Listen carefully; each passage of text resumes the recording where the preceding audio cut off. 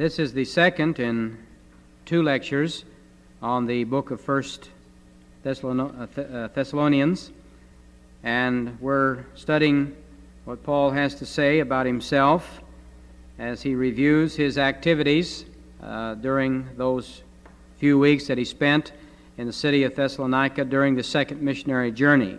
He says he was a suffering traveler, a faithful steward, a gentle mother, a tireless laborer, a consistent example, a concerned father, a homesick brother, an expectant soul winner, and then number nine, a mission a superintendent. The reading says this, chapter 3, verse 1 to 5, because we've already seen, of course, how Paul was driven from Thessalonica and Berea by the unbelieving Jews. And from Berea, then he went to Athens. And while he was there, he sent Timothy, who had remained in Berea, back to Thessalonica as sort of a short term missionary to strengthen the young church. So he was a mission superintendent in, in many ways. Uh, he sent Titus later on to the Isle of Crete and then he told Titus to stay there. So some have felt that Paul was a, was a bishop and that the modern uh, bishop uh, uh, system uh, has justification in the Scripture because the pastor shouldn't uh, go where he wants to go. He should, be, he should go where the, where the bishop tells him. But he was not a bishop, but he was a mission superintendent, and he did feel free to send these young uh, men on his staff, as it were, around to various places. So here he sends uh, Timothy from Berea to Thessalonica to check on the church. Now, in this passage, when he writes the letter, upon meeting Timothy later on, of course, he asked the Thessalonians not to pity him because of his many sufferings. Doubtless they had heard about him, the sufferings that he had endured uh, even before he came to Thessalonica. They'd heard what he went through when he got beat up in Philippi. And no doubt they had heard what happened after he left the city of Thessalonica. But he said, I don't want you to, uh, to uh, shed crocodile tears for my sufferings, uh, because he says that his trials had neither shaken him nor surprised him. For he said, We were appointed thereunto. Chapter 3, verse 3. That's a remarkable statement there, by the way. We were appointed thereunto. And often those who believe in predestination, uh, they limit it to salvation or service, uh, but they're not too concerned about suffering. Now, if you're going to take it for those two, you need to take it for suffering also. That Paul would later say that it is uh, given to you not only to uh, you know to enjoy things with Christ down here to serve Him, but to suffer with Him also. And some next time something really traumatic comes in your life, and uh, you don't know why, and it isn't a result of your sin, you not only take Romans 8:28 uh, as your comfort verse, for all things work together for them to love God, to them that are called according to His purpose, but also you turn to 1 Thessalonians 3, verse 3, for we are appointed thereunto, and you keep this in mind that before the foundation of the world, that God designed this suffering that's now in your life to make you more like Jesus. Now that's suffering predestination. Um, William MacDonald has a statement here. He says, Paul reminded them that even when he was in Thessalonica, he used to tell them that Christians are appointed to afflictions. His predictions came true in their own lives. How well they knew it. They had been suffering also.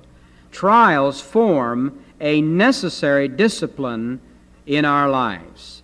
And then MacDonald, this author, uh, offers five reasons for suffering. Number one, they prove the reality of our faith and weed out those who are mere professors.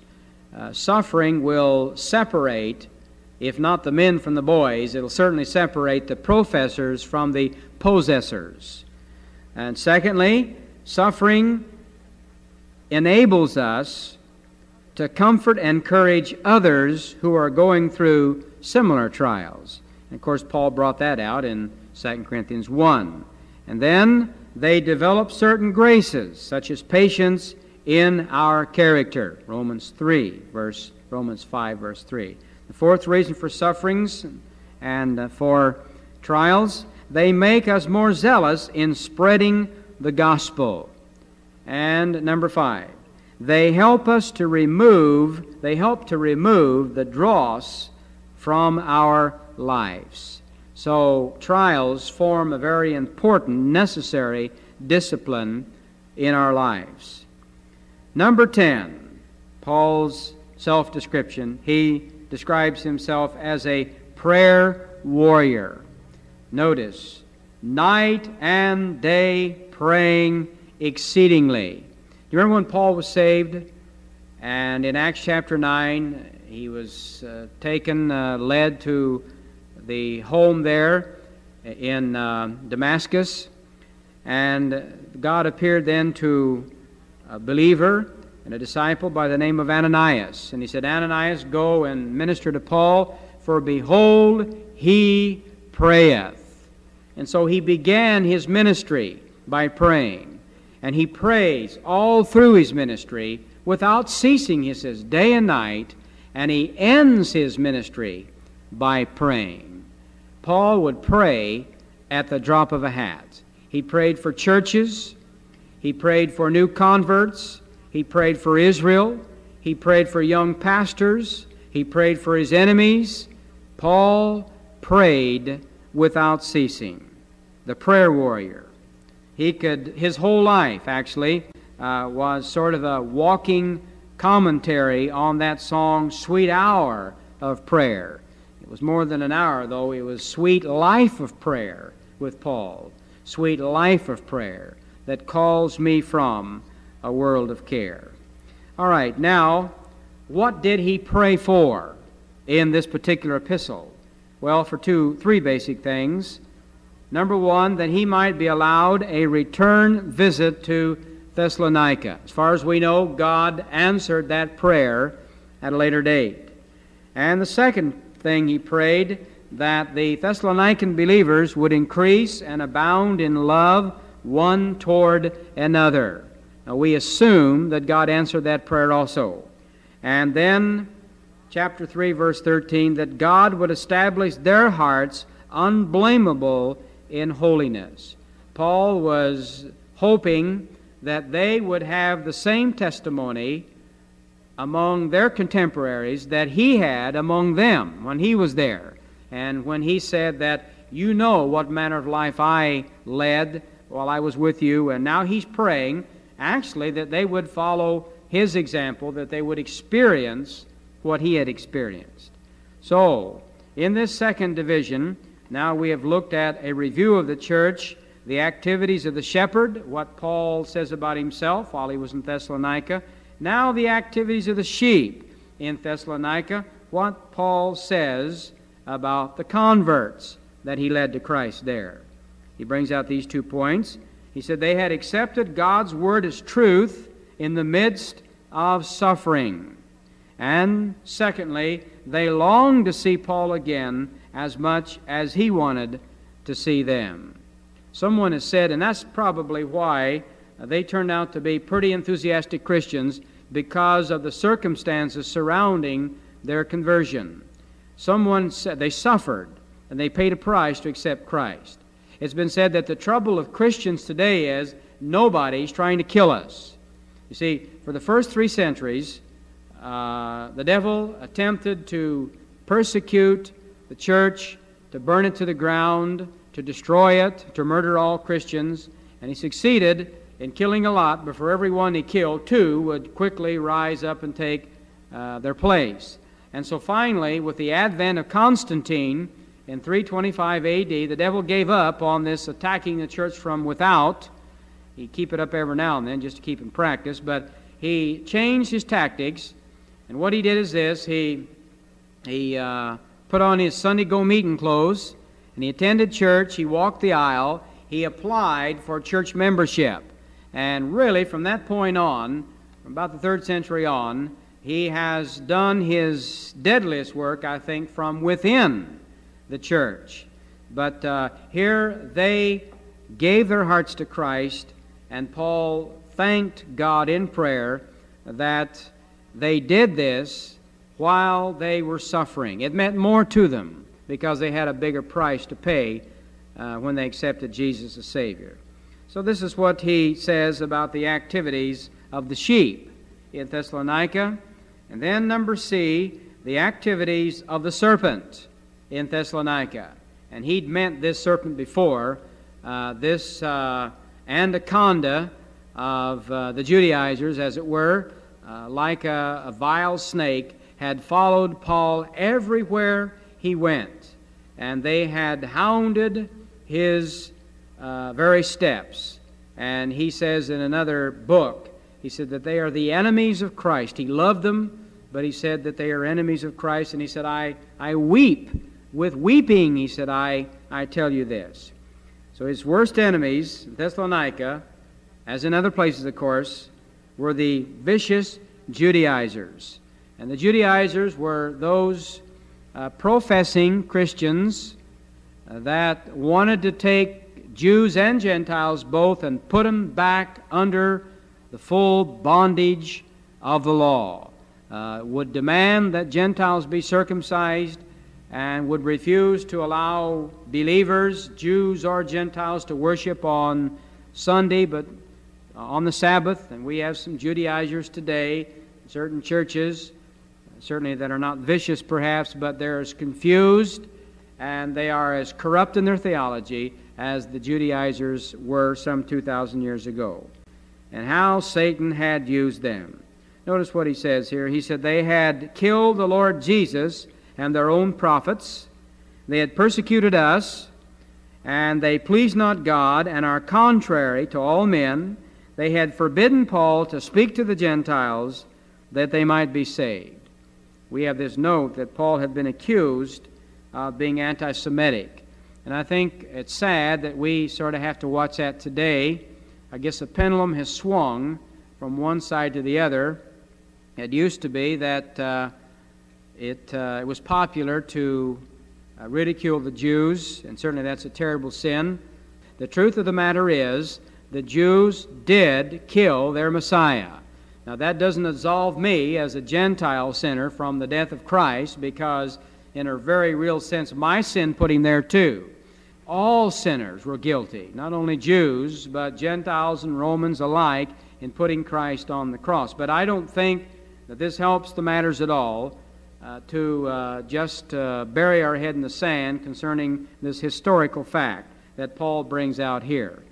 And no one on earth that ever lived or ever will live, apart from the Savior, who's always, of course, been in existence, uh, has loved the Jews as much as the Apostle Paul. He was a Jew, he was a Hebrew of the Hebrews, and he makes his statements about his own people.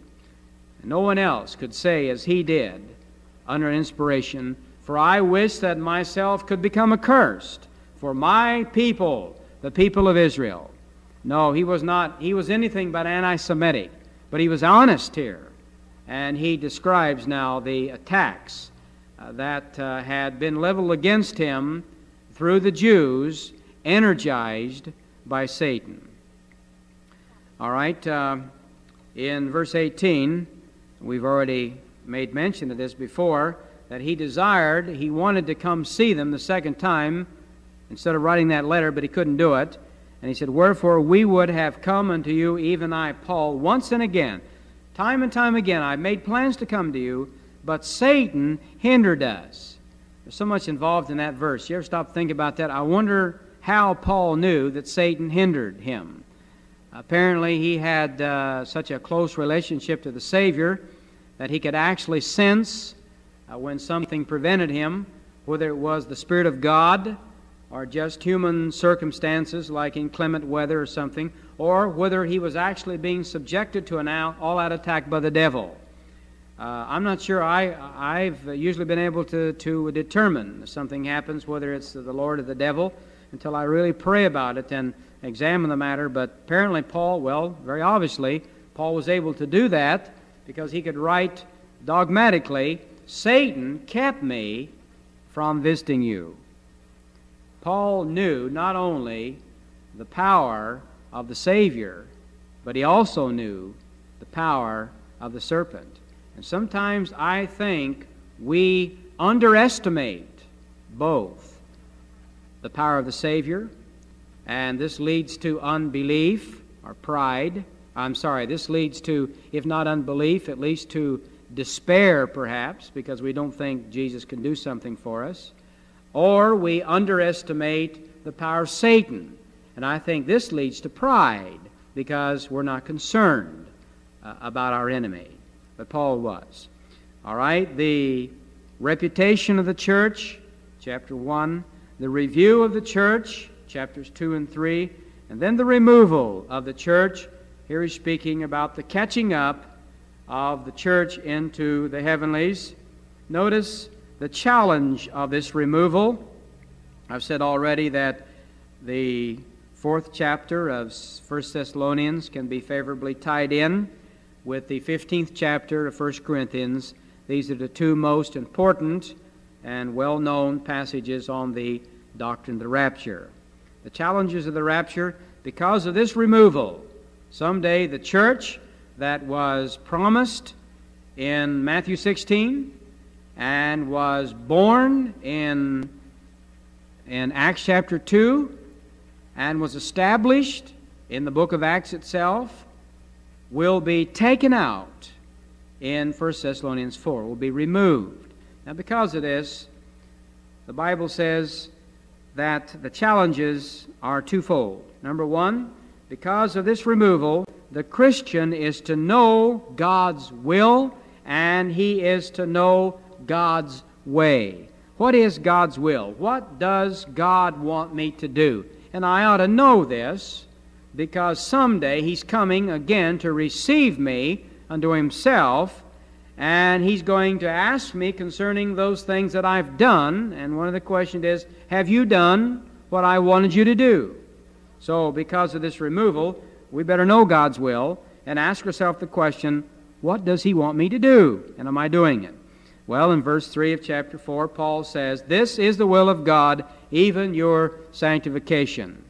I may not know God's will for you concerning whether you should marry that person you may be considering marrying now, or whether you should leave that job or take that church or, or uh, buy that house or, or make that flight uh, to a certain place. I may not know God's will, but I know God's will in this matter for every single person listening this tape. Here's God's will for your life. Take it from me, because I've taken it from Paul. Here is God's will for your life. This is the will of God, even your sanctification. So, uh, because of the challenge, the, uh, the removal at the rapture, uh, we need to know God's will. Not only that, but because of this removal, the Christian is to know God's way. Not only what He wants me to do, but how He wants me to do it. And I think the, the second is almost as important as the first. I think probably I have missed God's will more method wise uh, than goal wise. Let me repeat that. I think I have missed God's will more times method wise than goal wise. In other words, God has laid upon my heart to do a certain thing. And uh, sometimes that, that comes to me pretty uh, rapidly. I mean, I zero in on this, and it's, it's uh, crystal clear what God wants me to do. And as soon as I find out what He wants me to do, I just, I'm dumb in that area, I suppose, and I just charge it like a wounded bull, and I, I jump where angels fear to tread. Uh, and I'm not as concerned about how to do God's will as I am about what His will is. But many a person can go wrong in attempting to, to do the revealed will of God if they don't do it in the right way. There's a song, uh, Teach Me to Pray, Lord, Teach Me to Pray. And uh, the chorus goes, I long to know Thy will and Thy way. Teach me to pray, Lord. Teach me to pray. I think God's way is just as important as God's will. And uh, I can't stress that too much. Do you remember in the Old Testament, God's will on a given occasion for Moses was for him to come in contact with a rock, and through that rock and Moses' faith and obedience, uh, to slack the thirst of the uh, Israelis in the desert there. Now, God's will was to take care of their thirst. All right? But He had a way to accomplish that will. And God's way was for Moses to speak to that rock. But what happened? Moses became angry. Uh, they'd been bugging him all day, all that month, for example, uh, for, for, and uh, for a matter of fact. And, and so he became angry, and so he grabbed a stick and he blew up, and he really just lost his cool, and, and he began to beat on that rock with that stick and said, Hear ye rebels, and he called, called them a few choice names. Well, the water came out, and God's will was accomplished because their thirst was slackened. But his way did not, uh, was not practiced. So what did he do? He took Moses later on behind the woodshed and he spanked him. And he said, Because you have not done what I told you to do, you will not enter the promised land. So God's will was done. But because Moses didn't do it in God's way, Moses was not allowed to enter the promised land. A man who missed the way of God and not the will of God. And here Paul mentions both, of course.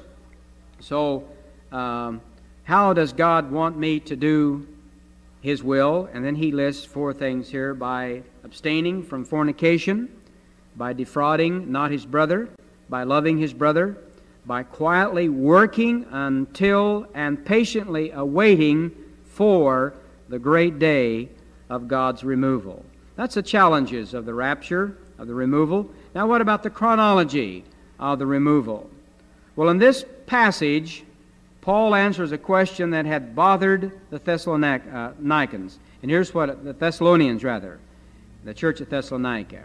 And uh, here's the problem. When he was among them in Acts 17, they had doubtless learned many precious truths about the glorious return of Christ to earth someday and the establishing of the kingdom. Paul was a prophecy buff. Uh, well, of course, he wasn't a buff, that's a amateur, and he was a heavy, he was a pro, but uh, he loved to talk about prophecy, and he doubtless uh, explained to them some of the glories of the prophecies there in Isaiah and uh, where the lion will lay down with the lamb and everything. So he told them a lot about the millennial kingdom and everything. In fact, he made it so real that to some of them uh, it uh, just seemed to be around the corner. And in fact, he made it too real for some. And when we come to Second Thessalonians, we'll see why a number had just sat down and refused to work because the rapture probably happened tomorrow anyway. So we'll sell everything that we have and just sort of live on the street here until uh, get our uh, don our robes of white and listen to Gabriel's blowing of the trumpet. Uh, so he'd made it very real to him. Well, but when he left, uh, a number of believers had died. A few had died, and then some more. And so these believers that had departed this earthly scene obviously wouldn't be on the earth when Christ came again. And so, well, they thought, now, did this mean they're going to miss everything? They're in the ground and they're not on earth? And so this is in uh, the background to the great rapture passage here before us in chapter 4. What he's attempting to do now is to explain, he's attempting to actually to comfort as well as to explain the hearts of those individuals that have lost loved ones since he departed from Thessalonica. Uh, these next six verses, chapter uh, 4, verses 13 to 18, thus present for us uh, the following um, uh, outline here, eightfold outline, a realization of those events that will take place. He says, But I would not have you to be ignorant, brethren, concerning them which are asleep, that ye sorrow not, even as others which have no hope. And Paul did not desire us to be ignorant brethren. I have a friend who's a member of the Grace Brethren Church, and we always kid each other. He kids me about uh, baptism, and I kid him about. Uh, I said, Well, I don't know whether the Baptist church is right or not, but yours can't be because the Bible says, Be ye not ignorant, brethren. And he says, There's a comma in there. be ye not ignorant, comma, brethren. And I have another friend said, Well, he said, You can be whatever you want, but he said, uh, In heaven you're all going to be what I am now. And he belongs to the United Brethren Church. Uh, but uh, at any rate, there are three areas uh, besides what Paul has talked about here that God would not have us to be ignorant concerning, not only concerning the rapture, but he would not have us to be ignorant concerning those events in the Old Testament. He would not have us to be ignorant concerning the restoration of Israel. He would not have us to be ignorant concerning the manifestation of spiritual gifts. And then he would not have us to be ignorant concerning uh, prophecy. And you know, it's, I don't think it's an accident that the four areas in which most Christians are the most ignorant of today are these four areas. Let's look at them again. Uh, that of prophecy. You have the amillennialist and, and uh, you have the post-millennialist. There's a group now, a vicious group. Certainly not all, uh, well, actually not post-millennialist. There's a, there's a mid-tribulation group that's absolutely vicious. And uh, they're, uh, they adapt the, the tactics almost of an Adolf Hitler in uh, getting across uh, their hate literature. And they ridicule any premillennialist, any pre tribulationist. And they say that uh, we're of the devil and that uh, we just do this to write books, to sell books, to make money, and we're insincere and probably not even saved. As I say, it's a vicious attack. Uh, now, we don't have to agree on prophecy, there's no doubt about that, but we do have to respect the sincerity of the other person. You may not be a, a premillennialist, but you need to respect my position, and I need to respect yours. And you may not believe that the rapture will take place before the tribulation, as I believe the Bible so clearly states that it will. You may not believe that. And, uh, but I am not to doubt your sincerity, and I am not to doubt your, uh, your love for Christ. Uh, but uh, there's, there's a lot of confusion in this and prophecy. And Paul said, I wouldn't have you to be ignorant, brethren, concerning these things. And then uh, very few people know anything about the Old Testament afar, apart from a few of the miracles and the Jonah and, the, and the fish's belly and, and Daniel in the lion's den. But uh, Paul says, I wouldn't have you be ignorant, brethren, about the Old Testament. He said, I would not have you to be ignorant about the restoration of Israel. And you have a lot of uh, covenant theologians running around today and saying God is done with Israel and the church has become Israel. You see, they don't understand. They're ignorant, maybe sincerely, but ignorant concerning God's plan for Israel. And God doesn't want them to be that way. And then, of course, how uh, this fourth area has been corrupted today. He said, I would not have you to be ignorant concerning spiritual gifts. I suppose the most perverted subject confronting Christianity today is the subject of tongues. The modern charismatic movement has totally, if not perverted, uh, certainly misinterpreted uh, this precious doctrine of the manifestation of spiritual gifts. And Paul said, I would not have you to be ignorant, but there's more ignorance and more stupidity and more uh, lack of facts, I think, in this one area than in any other area in the entire scope of Christianity today. So, a realization. Paul wants them to be aware of certain things. And then a repose, a sleep. He says, For if we believe that Jesus died and rose again, even so them also which sleep in Jesus will God bring with him. A repose. Of course, after the, uh, well, actually, it begins, I think, uh, before the crucifixion, resurrection of Christ. I think in John chapter 11. From that point on, a believer's departure from this earth is described as asleep. Uh, we're told that Lazarus sleepeth. Jesus said that. And later we're told that Stephen said, uh, or that after Stephen prayed, the Bible says he fell asleep in Jesus. And so Paul discusses a realization here. He wants them to know certain things. And then he talks about a repose, about a sleep. Now, this is body sleep the body sleep of departed believers. Uh, the doctrine of soul sleep is totally unscriptural, and we have in your notes a refutation of that position. But the body of D.L. Moody is reposing in the ground somewhere on the east coast in the cemetery for the last 78 years. Moody died in 1899. But Moody, for 78 years, has been doing, as he once said he would do, uh, handstands on Hallelujah Avenue in heaven. So he's been with Jesus, as Paul said, to be absent from the body is to be present with the Lord. But Moody's body is now in the state of repose, and Paul speaks about that there uh, in this verse here. So you have a realization, a repose, and then a revelation. And here it is. For this we say unto you by the word of the Lord, that we which are alive and remain unto the coming of the Lord shall not prevent or shall not precede them which are asleep. And of course, here he speaks now of the resurrection of the mortal of the bodies of departed believers and then the translation of the bodies of living believers. And that's the revelation that will meet together in the clouds. And notice he uses the word we, because apparently at this time Paul felt that he would be among that number. Now, uh, God uh, did not tell him he would be, but he just assumed, so he uses the editorial we. But later on, of course, he would know otherwise that he would not be involved in the rapture, that he would have to go through the valley of the shadow of death. We know that because of what Paul says in 2 Timothy chapter 4 verse 6. He says, "For the time, the hour of my departure is at hand." So here we have a revelation now. And then number 4, we have a return. Chapter 4 and verse 16. For the Lord himself, you see, he's not going to send the divine heavenly Henry Kissinger. Uh, he's coming himself, shall descend from heaven with a shout, with the voice of the archangel, and with the trump of God. So the trumpet that we love to sing about, when the trumpet of the Lord shall sound and time shall be no more, that return will take place at the rapture.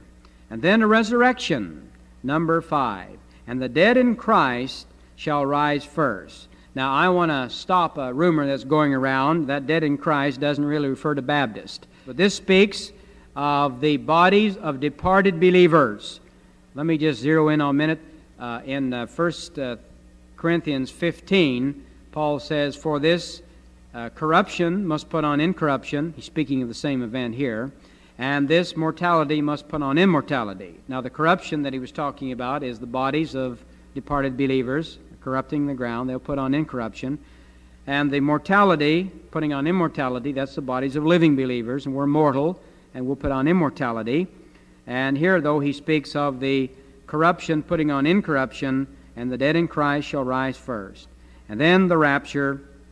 Then we, this is the mortality putting on immortality, then we, which are alive and remain, shall be caught up together with them in the clouds. And then a reunion to meet the Lord in the air, and so shall we ever be with the Lord. And then a reassurance, wherefore comfort one another with these words. What a fantastic outline study Paul gives here. A realization, a repose, a revelation, a return, a resurrection, a rapture, a reunion, and then a reassurance. Roman numeral 1, the reputation of the church, Roman numeral 2, the review of the church. Roman numeral 3, the removal of the church. And now, Roman numeral 4, the responsibility of the church. What is a local church to do? What is the uh, responsibilities of the believer in that local church? And this final section of Paul's epistles may be known as the full chapter uh, because of the uh, seven fulls that he mentions here. He says that we are to be watchful, respectful, mindful, joyful, prayerful, thankful, and faithful. We're to be watchful. Chapter 5, verse 6. Therefore, let us not sleep as do others, but let us watch and be sober. What are we to watch for? The return of Christ. Why are we to watch for it? Well, because we belong to Him the bride ought to be concerned about the return of the bridegroom. And the body ought to be concerned about the return of the head of that body. So, because of who we are and our relationship to the bridegroom and the body. All right? Not only because of who we are, should we watch for it, but because of what we shall escape. 1 Thessalonians 5 9, Paul says, For God hath not appointed us unto wrath. Now, this speaks of not only eternal wrath, the wrath of God abides on all unsaved people, but also tribulational wrath. One of the basic verses here that I think uh, can be used to point out the fact of the premillennial doctrine, pre tribulational doctrine of the Bible, is these verses in 1 Thessalonians. Actually, he begins this uh, by uh, this promise and he ends the epistle by the same promise. Check, compare 1 Thessalonians 1, verse 9, with uh, 1 Thessalonians 5, verse 9. God has not appointed us unto wrath. Now, I've used this illustration so much, but you remember the last thing that a king or president usually does before he declares war on another king or president, he calls his ambassadors home. Now, the tribulation is a time of all out war, and God is going to declare war for seven years upon this earth. But we are his ambassadors, according to 2 Corinthians chapter 5. So, right before he declares war, he's going to call his ambassadors home. All right. Now, we are not only to be watchful, but we are to be respectful. Paul says, And we beseech you, brethren, to know them which labor among you and are over you in the Lord and admonish you, and to esteem them very highly in love for their work's sake, and be at peace among yourselves. So we're not to be worshipful now, as far as they're concerned, but to, we are to respect our leaders. Not only because God has ordained them, but because they are responsible for our safety down here, our spiritual uh, growth, our lack of growth down here. And according to the book of Hebrews, chapter 13, someday they'll give an account, they that watch for our souls. So we are to be respectful concerning the leaders, and then we are to be mindful. Mindful of what? And now we exhort you, brethren, chapter 5, verses 14 and 15, warn them that are unruly, comfort the feeble minded, support the weak, be patient toward all men, see that none render evil for evil unto any man, but ever follow that which is good, both among yourselves and to all men. We are to be mindful. Number four, we are to be joyful. Paul says, Rejoice evermore. Now, this verse in the Greek is the shortest in the New Testament and not John 11 35. That's the shortest in the English, and that says Jesus wept. But rejoice evermore is the shortest, and in some way, though, it's the most difficult and one of the hardest to keep. Be joyful in everything. Number four, be number five, be prayerful. In other words, be like Paul. Pray without ceasing. Number six, be thankful.